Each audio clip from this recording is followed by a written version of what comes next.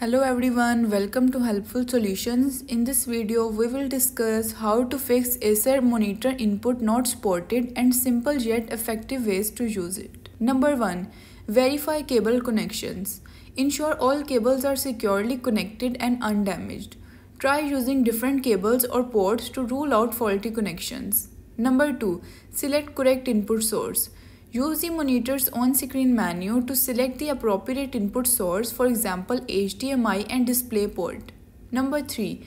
Adjust display settings. On your computer, set the display resolution and refresh rate to match the monitor specifications. Right click on the desktop, select display settings, then advanced display settings and adjust the resolution and refresh rate accordingly. Number 4. Update graphics drivers. Ensure your computer's graphic drivers are up to date as outdated drivers can cause display issues. Number 5. Perform a power reset. Unplug the monitor's power cord, press and hold the power button for 30 seconds, reconnect the power cord and turn on the monitor. Thanks for watching.